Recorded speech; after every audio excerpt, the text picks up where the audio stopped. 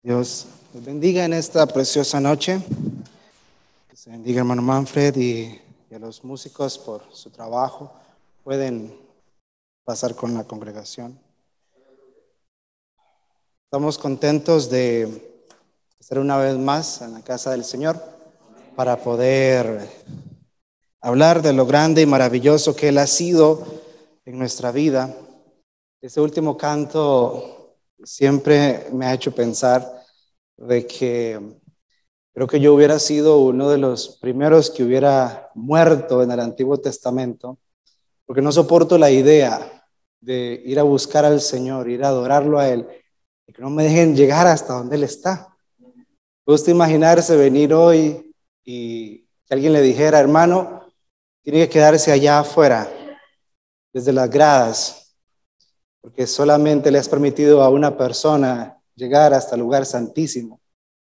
Pero gloria al Señor que su muerte en la cruz rompió ese velo, dándonos acceso a cada uno de nosotros. Amén. Ahora podemos entrar, podemos ir. Hoy podemos venir a este lugar y podemos tocar su gloria, su gloria Shekinah, su Espíritu Santo. Amén. No hay un obstáculo, no hay un manto, no hay un velo que nos prohíba llegar hasta el Señor, más que el velo que nosotros mismos ponemos en nuestros ojos. Amén. Pero el velo que nos impedía llegar al Señor, Él se encargó de romperlo en dos. Gloria a Dios. Amén. Así de que me hace pensar que yo hubiera sido uno de los primeros muertos de rebelde y respetuoso, de decir, no, yo quiero llegar hasta donde Él está. Pero ese no era el orden en ese momento. Amén. Gloria al Señor. Quisiera invitarlos a ir a la escritura. Vamos a ir a Mateo capítulo 25. Mateo capítulo 25. Eh, creo que es un capítulo muy conocido por todos. Incluso lo hemos usado para otras predicaciones. Tenía otros eh, versículos, pero ahora en la tarde eh, el Señor me, me, recordó de este y creo que es más apropiado para el mensaje de hoy. Eh, Mateo 25, eh, capítulo 25 en el verso 14. ¿Lo tienen? Amén. Leemos juntos, dice, porque el reino de los cielos es como un hombre que yéndose lejos, llamó a sus siervos y les entregó sus bienes. A uno dio cinco talentos y a otro dos y a otro uno, a cada uno conforme a su capacidad. Y luego se fue lejos. Y el que había recibido cinco talentos fue y negoció con ellos y ganó otros cinco talentos. Asimismo, el que había recibido dos ganó también otros dos, pero el que había recibido uno fue y cavó en la tierra y escondió el dinero de su señor. Después de mucho tiempo vino el señor de aquellos siervos y arregló cuenta, cuentas con ellos. Llegando el que había recibido cinco talentos, trajo otros cinco talentos diciendo, Señor, cinco talentos me entregaste Aquí tienes, he ganado otros cinco talentos sobre ellos. Y su señor le dijo, bien, bien, buen siervo y fiel. Sobre poco has sido fiel, sobre mucho te pondré, entra en el gozo de tu señor.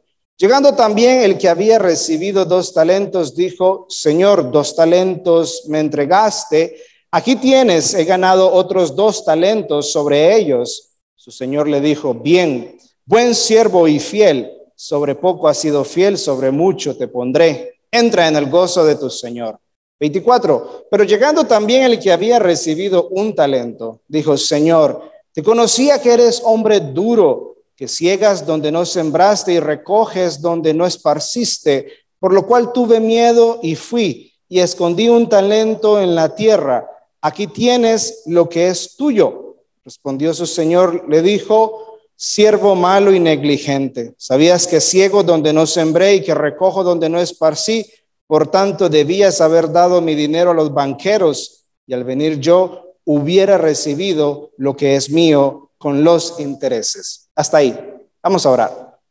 Amado Padre Celestial, te damos las gracias, Señor, por la oportunidad que nos has regalado, Padre de poder reunirnos una vez más, Señor. Te pedimos en esta noche, Padre, que seas tú hablando a nuestra vida, a nuestro corazón, Señor, que las palabras que han sido escritas, Señor, y han sido dejadas por reyes, por sacerdotes, por Padre, por hombres sencillos, así como por grandes letrados, como lo fue Pablo, Señor, pero rechazando todo eso y tomándote a ti, Señor, como primero. Padre, tú los inspiraste a cada uno, Señor, para dejarnos estas palabras. Y te pedimos de que en esta noche, Padre, seas tú mismo quien las interprete, quien, Padre, las revele a nuestra vida y a nuestro corazón, Señor. Te pedimos que nos visites una vez más Padre, que así como lo has hecho siempre, en el nombre de tu Hijo Jesucristo entregamos este servicio en tus manos. Amén y amén. Pueden tomar sus asientos. El Señor eh, les bendiga y eh, eh, alegría el poder verlos a todos. Amén. bueno, en esta noche yo deseo compartir con ustedes un, mensaje que lleva por título El síndrome del impostor. Tal vez, tal vez sea un, suene diferente o extraño para algunos, para otros tal vez no lo sea. Es un término muy conocido, utilizado en organizaciones y en empresas. Se podría definir como la falta de reconocimiento a los logros obtenidos. Básicamente es una persona quien ha llegado alto en una empresa, o ha alcanzado un buen puesto, se siente un fraude en ese puesto. Él siente que, que, no debería de ocupar ese lugar que tiene por algún secreto o algo en su vida. Hay muchos ejemplos de ellos. Yo voy a tomar a Phil McKinney. Él, él, ya es un hombre retirado, pero en el 2007 él era el jefe de tecnología de HP o Hewlett Packard y llegó hasta esa posición, hasta ese puesto, jefe de tecnología de una empresa de tecnologías, ¿verdad? Y en el 2007 le hicieron una entrevista en la cual a él le, le preguntaron cuándo se había graduado o en qué universidad se graduó, a lo que él dijo, nunca me gradué. Ese era su secreto. Él se había sentido un fraude él era el jefe de tecnologías de una de las mayores empresas de tecnología y sentía que era un fraude porque no había terminado su carrera en la universidad. Le hicieron la entrevista, él con temor respondió, sabiendo que iba a ser publicada en el periódico de, eh, de la ciudad de Vaca Valley, y salió la publicación, él tenía el periódico, y dice que él llegó a su oficina y se sentó atemorizado esperando la respuesta de la gente cuando viera que él no se había graduado de la universidad. Y era el jefe de tecnología, era el jefe de muchos ahí. Y dijo él, mi sorpresa fue que no pasó absolutamente nada. A nadie le importaba que yo no hubiera terminado la universidad porque conocían lo que yo había logrado. Sabían que yo no había llegado ahí eh, con fraude o con engaño, que me lo había ganado. Había sido mi esfuerzo, era un logro, en su vida era un logro, pero él tenía un secreto que a él lo hacía sentirse un fraude, él no debería de estar ahí. Entonces, tal vez usted diga, bueno hermano, pero esto qué tiene que ver? Bueno, sucede lo siguiente, yo creo que este, este hombre al que le fue dado un talento, creo que él tenía una crisis de síndrome de impostor. Porque dice la escritura, no digo yo, que se les fue dado de acuerdo a su capacidad. Entonces, si el Señor le dio un talento, él tenía capacidad para administrar ese talento. ¿Estamos de acuerdo? Amén. Él tenía capacidad. Entonces, si él hubiera actuado como se suponía que debía de haber actuado, hubiera ese uno se hubiera convertido en dos o en tres, ¿por qué no más? ¿Verdad? Porque el Señor sabía que él tenía una capacidad, pero tal vez en él había un secreto, que no le gustaba tomar riesgos. Tal vez en él había un secreto que no había terminado la, la secundaria. Había algo en su vida que lo llenó de temor. Él mismo dijo, tuve miedo. Tuve miedo de perder lo que tú me habías dado. Pero hay un problema, el Señor sabía que él tenía la capacidad. Entonces, era, no era un factor externo, no era el Señor diciéndole, te lo voy a dar aunque yo sé que no voy a recuperar nada. No, el Señor se lo dio sabiendo que él podía hacer algo con ese talento. Fue él quien se autosaboteó, quien dijo, tengo miedo, yo, yo no puedo, mejor lo entierro y se lo doy intacto. Pero eso no era lo que el Señor quería, eso no era lo que el Señor esperaba. Así de que creo que este hombre, cuando él recibió el talento, él se sintió como un fraude. Él sintió, yo, tal vez mintió en su currículum. Tal vez él había puesto que, sabía de números y no sabía.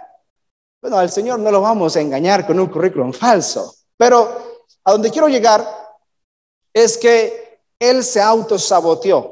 Él era capaz porque el Señor dijo que era capaz. Quien no se sentía capaz era él mismo.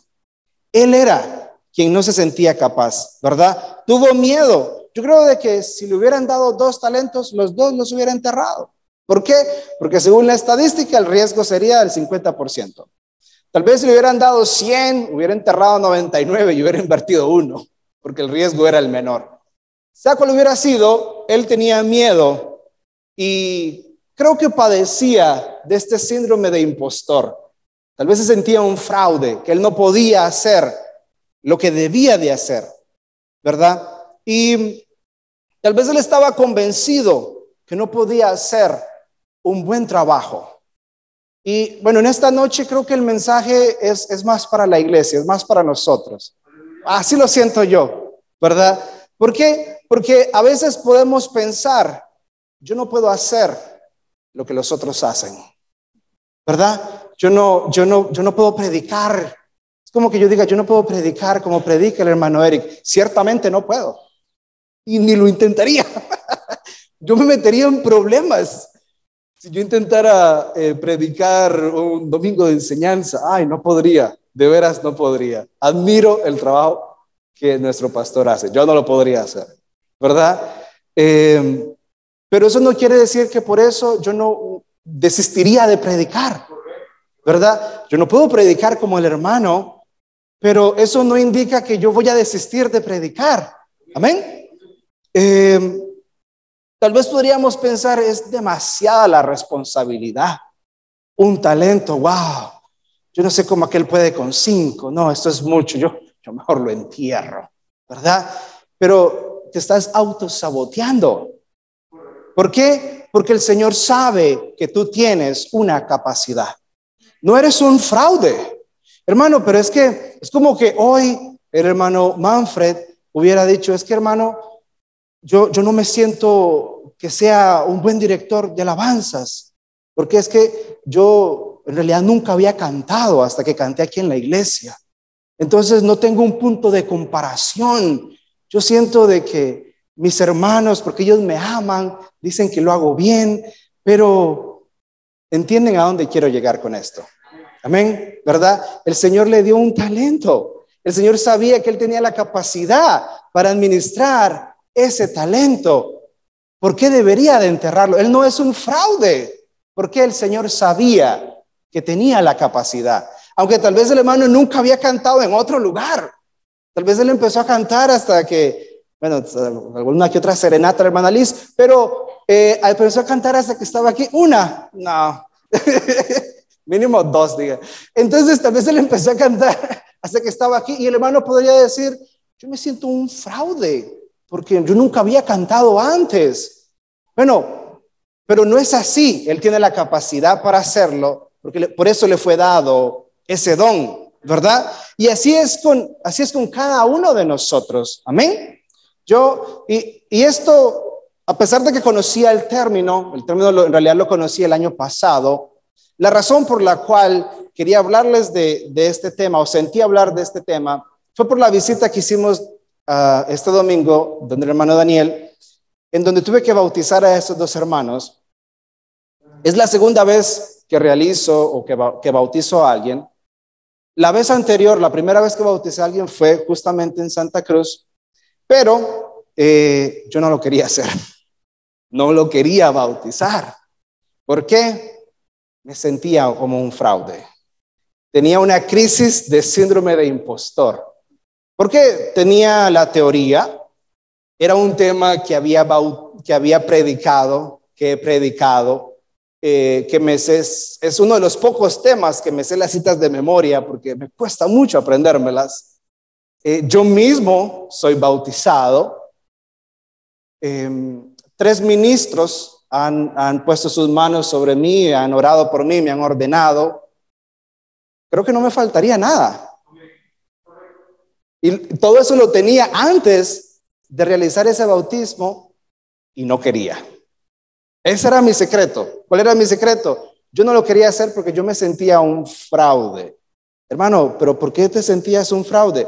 Porque yo me bauticé a los 12 años y a los 19 me salí de la iglesia. Ahora, la persona que voy a bautizar no sabe eso.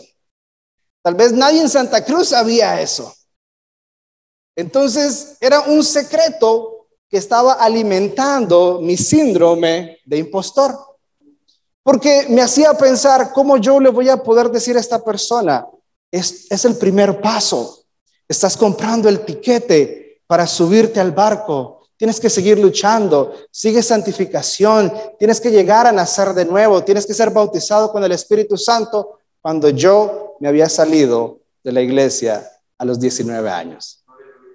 Pero nadie sabía eso, era mi secreto. Así de que yo me desacredité a bautizar a la hermana.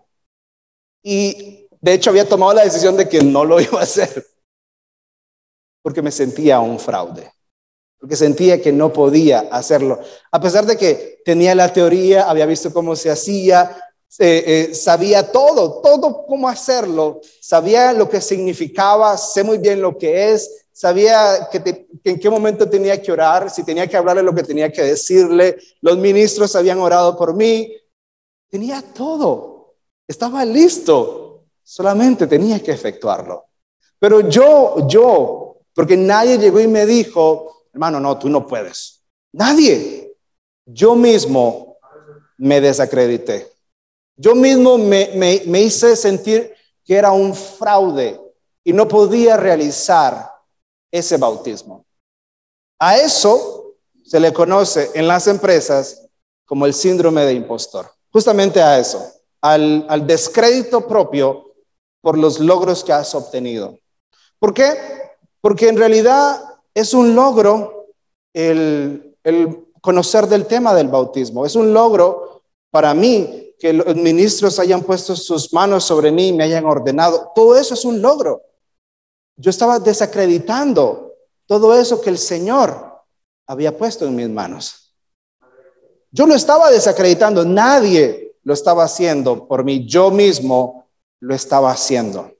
Y hermano, en esta noche yo no espero que te sientas culpable de absolutamente nada, esa no es mi, esa no es mi idea. Quiero hablar de un padecimiento que podemos tener, o más que padecimiento, una idea de que somos un fraude, de que no merecemos cantar, o no merecemos tocar, o no merecemos ni siquiera venir a la iglesia por algo que pasó hace tiempo. O no merecemos predicar porque nos sentimos un fraude, porque hay un secreto en nuestra vida que nadie sabe. hay un secreto en nuestra vida que solamente el Señor sabe, pero ese secreto te hace sentir un descrédito a lo que has logrado. Porque déjame decirte algo, has, tienes logros en el Señor. Los tienes. Si tú estás aquí sentado hoy, para mí eso es un logro. Uno de muchos. ¿Ven? Si oras antes de comer, ese es un logro. Si oras antes de dormir, ese es un logro. Si buscas al Señor en su palabra, ese es un logro. Si escuchas un mensaje, ese es un logro. Hermano, hermana, tú tienes logros en el Señor. ¿Por qué los desacreditas? ¿Por qué te sientes un fraude? Hermano, es que yo hice algo en el pasado. Yo dije algo en el pasado. Y debido a eso, yo no siento que yo puedo tomar un micrófono y cantar un especial. Debido a eso, yo siento que no puedo tomar un micrófono y dar un testimonio por, por algo que yo hice hace mucho tiempo. Yo me siento un fraude de cristiano me siento un fraude de cristiana. A veces me cuesta venir a la iglesia porque siento que ni siquiera debería de venir a la iglesia por el fraude que soy. Ese puede ser el pensar que tú tienes, ¿verdad?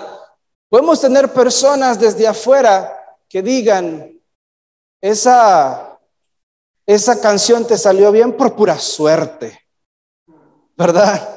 Eh, este mismo eh, hombre, Phil McKinney, él habla de un, de un joven que él conocía en la empresa que tenía un caso severo de síndrome de impostor. Que este muchacho cada vez que un alto mando le decía, quédese ahora más tarde que queremos tener una reunión con usted, él llegaba corriendo y le decía, me van a despedir, me van a despedir. Se quieren reunir conmigo porque me van a despedir. ¿Puede, usted imaginarse alguno de los músicos donde la hermana Laura le diga el, día de domingo, hermano, quédate que ocupamos hablar contigo después del culto. Y él el que diga, me van a decir que ya no toque más. Ya, ya van a decir que no toque más. Bueno, ese, es, ese justamente es un caso severo de síndrome de impostor. Porque tú mismo sientes, te sientes que no puedes realizar, mejor dicho, que no debes realizar ese trabajo por algún secreto o algo que sucedió hace tiempo en tu vida, por algo que hay ahí, tú dices, es que yo no puedo y cada vez que alguien me pide hablar conmigo es porque me van a decir que ya no lo haga más. Él hablaba de, de este muchacho, de que cada vez que un alto mando quería hablar con él para felicitarlo, o una vez era para subirlo de puesto, él creía que lo iban a despedir. Él creía que lo iban a despedir. Hermano, ¿puedes tú imaginarte venir a la iglesia, buscar del Señor con el pensamiento, con la idea de que el Señor no te va a escuchar? Con la idea de que el Señor está esperando que salgas para enviarte al infierno.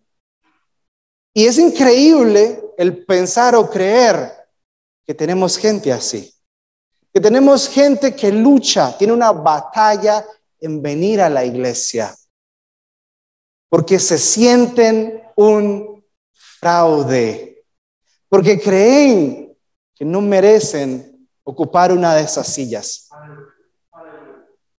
Hermano, tú no eres un fraude, tú eres un hijo de Dios, tú eres una hija de Dios, y no importa lo que hayas hecho en el pasado, no importa cuántos secretos tengas, no importa cuántas veces el acusador venga, él no puede cambiar eso. Nadie puede cambiar lo que tú eres. Nadie puede quitarte tus logros. Nadie puede quitarte tus logros. Tus logros en el Señor. Amén. Esos son los que valen aquí. Esos son los que importan aquí. No los desacredites. No lo hagas. ¿Por qué? Porque al Señor, si vemos a Jacob, Jacob pudo engañar a Esaú. Jacob pudo engañar a su padre, es más, mintió cuando Isaac le dijo, ¿cómo llegaste tan rápido? Le dijo él, Dios prosperó mi camino. Dios metió a Dios en eso.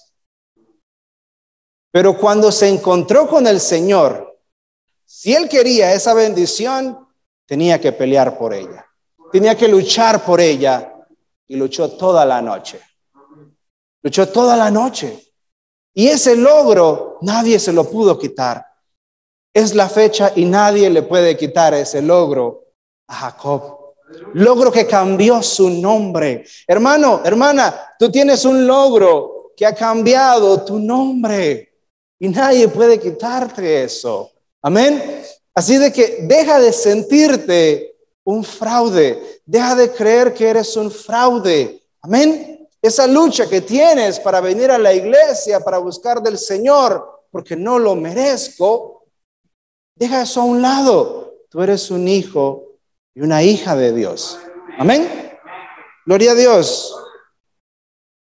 El secreto está alimentando ese síndrome, pero eso es interno. Puede haber un factor externo y lo hay, se llama acusador. Él puede venir a alimentar. Aparte del, del secreto que tienes, que alimenta ese síndrome, también puede venir un factor externo llamado diablo y Satanás a querer acusarte y decirte, después de lo que hiciste, ¿cómo te atreves? ¿Cómo osas venir a la iglesia? Tú no mereces estar aquí. Yo he escuchado eso. Y no de un hermano, sino de ese acusador. Aquí en mi mente. Y estoy seguro que también en la tuya. Yo creo que él hace un excelente trabajo como acusador, ¿verdad? Tal vez te diría, si yo hubiera hecho eso que tú hiciste, yo me hubiera ido del país, ¿verdad? Debería darte vergüenza llamarte cristiano. Wow. El Señor no murió por ti. ¿Cómo puedes dejarlo que Él te diga esas cosas? Y más que eso, ¿cómo puedes creerle? más allá de eso, porque creo que no se va a callar. Toda la vida ha ladrado sin dientes y eso no va a cambiar ahora. Pero ¿cómo puedes creer lo que Él te está diciendo? ¿Cómo puedes creerle a Satanás? y no creerle al Señor?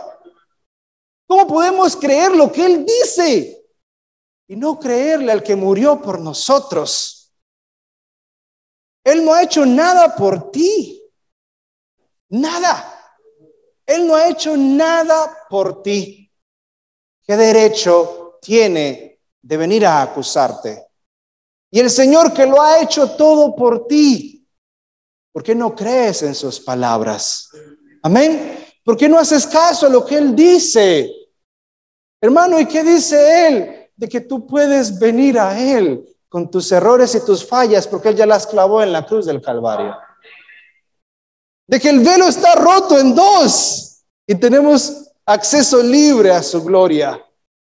De que, hermano, tú tienes el derecho, hermana, ustedes tienen el derecho de venir a esta iglesia y que una sonrisa los reciba afuera y les diga, tome asiento y disfrute de la palabra del Señor. Y nadie le va a quitar ese derecho. Y yo no he estado desde que se levantaron estas paredes, pero estoy seguro de que a nadie se le ha negado ese derecho. De que esas puertas han estado abiertas para aquel que quiere buscar al Señor. Amén. Porque el Señor puede ser hallado en este día. Así de que, ¿qué te detiene? Mira, al Señor lo podían acusar de ser un, hijo ilegítimo y si querían dañarlo podían decirle bastardo. Podían maltratarlo con todo ese tipo de palabras. Podían decirle, pero este es un simple carpintero. ¿Qué nos viene a decir? Nos viene a enseñar. Podían decirle, pero es que cuando tú naciste eras tan pobre que naciste en un establo que les prestaron, en un pesebre prestado. E incluso lo dijeron, creo que es en Mateo 18, le dijeron, pero ¿no es este el hijo del carpintero? ¿No es su madre María? ¿De dónde viene tanta sabiduría? Amén. Podían acusarlo de todo eso, pero el Señor sabía muy bien quién era Él. Él sabía muy bien de dónde venía ese poder, de dónde venía esa sabiduría. Amén. Él sabía que él podía blandir esta espada y que él era esa espada. Amén. Y no había un factor externo que pudiera hacerle creer o desacreditar lo que él era. Entonces, hermano, hermana, no debería de haber un factor externo en tu vida que desacredite los logros que has obtenido en el Señor. Porque como dije hace un momento, todos aquí hemos logrado algo en el Señor. Si tú estás aquí, tú has logrado algo en el Señor. No dejes que nadie te lo quite. Y principalmente no dejes que nadie le quite el valor que tiene a ese logro. Yo cuando voy a visitar algún, algún médico de la rama que sea, yo los veo como ellos ponen sus títulos, ¿verdad? En las paredes. Imagínense usted decirle a uno de ellos, por ese título usted lo compró. Eso sería una ofensa. Ahora, si lo compró, no. Pero si, si él obtuvo ese título de la manera correcta, ese título, que es un simple papel, con un nombre en él, con un folio y demás, pero ese título para el que lo obtiene representa horas y horas de estudio, desvelo, falta de dinero, porque en este momento tal vez no trabajaba, tal vez tenía una beca, aguantaba hambre, Solamente la persona que tiene ese título sabe el esfuerzo que le tomó obtenerlo. Creo que ya sabes a dónde voy, solamente tú sabes cuánto valen tus logros. Solamente tú sabes qué tan difícil ha sido mantenerte siendo una persona cristiana o cristiana hasta el día de hoy, a pesar de los errores, las fallas que hayas cometido. Solamente tú sabes cuánto vale ese logro. Entonces, ¿por qué dejas que Satanás te diga cuánto vale? ¿Por qué dejas que alguien más te diga que no vale lo que tú sabes que eso vale? Amén. Y principalmente, como tú mismo lo desacreditas. Hermano, pero es que yo hice algo. Ahorita vamos con lo que hiciste, no te preocupes. Démoslo ahí quieto un momento. Yo podría decir, no merezco estar aquí predicando. Tal vez ese síndrome de impostor va a llegar a mí a decirme, yo no merezco estar aquí predicando. Cuando estuve descarriado un tiempo. Tal vez alguno de los músicos podría decir, yo no merezco estar aquí tocando, porque yo no estudié música, no tengo un título de música. No merezco estar aquí sentado, porque los hermanos saben lo que yo hice, lo que yo dije, donde yo anduve. Y de seguro se deben de sentir mal cuando me ven entrar por esa puerta. Podemos, todas esas ideas pueden llegar a ti. Eso no quiere decir que sean verdad. Eso no quiere decir de que pesa más eso que lo que tú has logrado. Amén. ¿Puede alguien aparecerse y decir, él no debería de estar aquí? Déjame decirte algo, si alguien no debería de estar aquí, ese es Satanás. Ese es el mayor impostor que yo conozco. Ese sí es un impostor. Ese no tiene síndrome, ese es el impostor. él no merece estar aquí. Él no se ganó eso. Él lo perdió. ¿Ven? Él, él es el que no merece estar aquí. Él es el que no merece predicar. Él es el que no merece tocar. Él es el que no merece una de esas sillas. Él es el que no merece un Dios te bendiga. Pero tú sí te mereces todo eso. Tú sí lo mereces. Hermano, ¿por qué? Porque la sangre que se derramó en la cruz fue por ti. La sangre que el Señor derramó fue por ti. Por ti Él derramó esa sangre.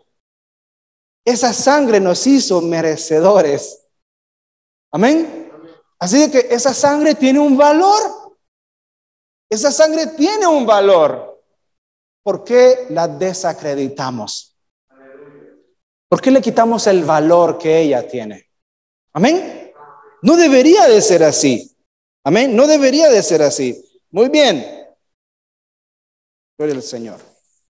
¿Ves? Deja, deja de esperar que alguien te diga que lo puedes hacer. Que tienes su aprobación. Amén. Deja de esperar que alguien te diga, no hermano, ven, del, testimonio. Para mí está bien, tú, tú lo puedes hacer. hermano, da el testimonio para la gloria y honra del Señor. Amén. No necesitas una aprobación de alguien para hacerlo. Yo quiero cantarle al Señor. No canto bien, hermano, cántale al Señor. Porque el Señor merece ser alabado. Amén. Yo no quiero estar en una iglesia en donde no alabemos al Señor. Él merece ser alabado. Él merece ser adorado. Amén. Gloria a Dios. Hermano, predica la palabra del Señor. Hazlo. Si ese, es, es el deseo y el llamado que Dios ha puesto en tu corazón, hazlo. Es que si yo lo hago sería un fraude de predicador. ¿Según quién? ¿Según quién tú serías un fraude? ¿Según Leyman? ¿Según tú mismo? ¿Según Satanás? Hasta donde yo sé, la aprobación y el llamamiento, y el llamamiento viene del Señor. Amén. Así de que esa es la aprobación que tú necesitas. Amén. Hermano, es que no quiero ir a la iglesia. Me da vergüenza. Me da vergüenza porque los hermanos me han visto en el súper, en la feria, en la calle, y, ellos saben lo malo y, y, no, y no quiero ir. Pero tú mismo te estás desacreditando. Nadie te está deteniendo a, no, a venir a la iglesia. El pastor no está aquí diciendo, bueno, esta es la lista de personas que no pueden venir a la iglesia el día de hoy y en adelante. Y esa es la lista actualizada de las personas. No, eso no, eso no está pasando. Eso está pasando en tu mente. Amén. No seamos como el elefante del que habla el hermano Brannan. Él cuenta una historia de un pequeño elefante que fue amarrado del pie a un clavo en el suelo. Daba vueltas en ese clavo, intentando soltarse. Y fue creciendo y fue creciendo y en su mente él no podía arrancar ese clavo. Llegó a ser un elefante adulto. No recuerdo cuántas toneladas puede empezar. Pero en su mente, ese gran animal no podía arrancar un pequeño clavito del suelo. Porque él creció creyendo que no lo podía quitar. Hermano, hermana, yo creo que tú has crecido en el Señor. Yo creo que no le estoy hablando a personas que vinieron al Señor ayer o que durante toda su vida nunca han escuchado del Señor y escucharon de Él hoy en la tarde. Creo que le estoy hablando a personas que han corrido esta carrera por un tiempo. Y yo creo de que ustedes han crecido en el Señor.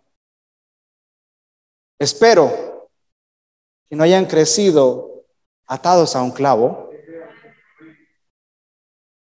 creyendo que ahora no lo pueden arrancar. Nuevamente recuerden, el síndrome del impostor es el descrédito de los logros que he obtenido. Así de que si tú has crecido en el Señor, si tú has peleado batallas en el Señor, si tú te has esforzado, si te has bautizado, si has luchado y has crecido en el Señor, espero que no hayas crecido atado a un clavo y ahora ya con tus logros creyendo que no lo puedes arrancar. Esa es una mentira de Satanás. De que Él mientras tú crecías, mientras tú ibas peleando tus batallas, Él mantenía ese secreto ahí guardado como un clavo atado a tu vida. Y que no importa cuánto tú hayas avanzado en el Señor, no importa cuánto tú ores, cuánto alabes, cuánto levantes tus manos, cuánto busques de Él, sigues atado a ese clavo. No importa las veces que vayas a la iglesia, no importa las veces que grites amén, aleluya, gloria a Dios, sigues atado a ese clavo. Hermano, hermana, esa cadena, esa cuerda que te ata a ese clavo, el Señor la cortó hace mucho tiempo. Hace mucho tiempo, en la cruz del Calvario, Él cortó esa cadena que te ata a ese clavo. Así de que si sigues dando vueltas alrededor de ese clavo, creyendo que sigues atado a él, el Señor ya lo rompió. El Señor ya la cortó. Estamos desacreditando la obra que el Señor ha hecho en tu vida. Amén. ¿Sabes cómo es eso? Es eh, eh, con esta historia voy, voy, a ir cerrando. No iba a ser muy largo. ¿Lo, ¿Han disfrutado la palabra del Señor? Amén. Muy bien. Eh, había un hombre que estaba vendiendo su casa y vino un comprador y él le dijo, bueno, te vendo, esta es la casa que vendo, me gusta, ok. Bueno, te vendo toda la casa menos ese clavo que está ahí en la pared. Y él le dijo, ¿cómo así? Si vamos a firmar un contrato, yo te voy a vender la casa entera, pero ese clavo ahí es mío. Digo, es un clavo. Me la está dejando barata, vamos a pagar. Firmó. Un día, alguien tocó y le dijo, sí. Ah, ¿cuánto tiempo? Lleva tiempo sin verte. Y le dice, ¿y, cómo has encontrado la casa? Le dijo el antiguo dueño, muy bien, está muy bonita y todo. Le, ah, qué bueno, con permiso, voy a pasar. Le dijo, no, momento, le dijo, la casa es mía. Y le dijo él, sí, la casa es tuya, pero el clavo que está en esa pared es mío. Aquí tengo un papel que dice que ese clavo es mío. Y como él está aquí, entonces yo voy a entrar. Y el hombre entró y colgó su ropa sucia. Y colgó una bolsa de basura y se fue. Y le dijo, no me toques nada que yo ponga ahí porque ese clavo es mío. Y se fue. Al tiempo regresó y imagínense el hedor de esa ropa sucia, esa basura. Y le dijo, qué bueno que ya llegaste, ya voy a llamar a mi abogado y a la policía porque le dijo, sí, no te preocupes, vengo a poner otra bolsa de basura y otra ropa sucia que no tengo dónde ponerla y la voy a poner en mi clavo. Y así siguió la historia. Bueno, hermano, muchas veces nosotros vendemos nuestra casa, vendemos toda esa antigua vida que teníamos y dejamos un clavo. Y se lo dejamos a Satanás. Para que él pueda seguir entrando y colgando su ropa sucia en ese clavo. Vende toda la casa. Deshazte de toda esa casa antigua. Véndela toda. Deshazte de todo eso, de ese secreto, de ese clavo, de ese síndrome de impostor, de ese fraude que te sientes Vende todo eso y deshazte de todo eso. ¿Por qué? Porque tienes algo mejor esperándote llamado Jesucristo. Amén. Gloria al Señor. Así de que deja de sentirte que eres un fraude. Deja de sentirte que no mereces estar aquí en este lugar cuando Dios derramó su sangre para que tú estuvieras aquí hoy. Amén. Y, y yo no puedo concebir que le quitemos al Señor el valor que tiene su sangre, cuando su sangre nos ha salvado, su sangre nos sanó, su sangre nos rescató. Amén. Gloria a Dios. Así de que hoy yo quería darles un reporte de que fui a Santa Cruz y bauticé a dos jóvenes, no sintiéndome un fraude, Amén. Sino sintiéndome como alguien que el Señor le dio la oportunidad de predicar la palabra del Señor. Amén. Y que ha sido el Señor quien me ha regalado eso. Y no voy a permitir que nada ni nadie me haga sentirme un fraude cuando sé muy bien que no lo soy. Que soy un hijo de Dios y merezco estar aquí predicando su palabra. Amén. Y tú mereces estar aquí sirviéndole a Él. Tú mereces estar aquí tocando. Tú mereces estar aquí predicando. Tú mereces estar aquí contando un testimonio, una alabanza, diciéndole al Señor lo maravilloso que Él es. Amén. Tú mereces eso y mucho más que nos está esperando. Amén. Así de que no desacreditemos la obra que el Señor ha hecho en nuestra vida. Y no dejemos que nadie le quite el valor a la obra que el Señor ha hecho en nuestra vida. Amén. Tú sabes lo que vale. Tú conoces tus logros, tú conoces tu camino, tú sabes cuánto has recorrido, cuánto has aguantado, cuánto has soportado. Así de que deja ese pasado atrás. Deja ese secreto atrás. Deja de sentirte como un fraude. Levanta tu cabeza. Dice, dice el libro, dice, dice la palabra que siete veces se cae el, el justo, mas él se va a levantar. Amén. De sacudir el polvo y seguir caminando. Amén. Deja eso allá atrás. El Señor ya se encargó. El Señor ya lo pagó. Amén. El Señor ya cortó esa cadena que te unía a ese clavo. Hermano, yo, yo quiero hoy de que tú salgas de este lugar, sigas creciendo en la palabra del Señor, no estando atado a nada.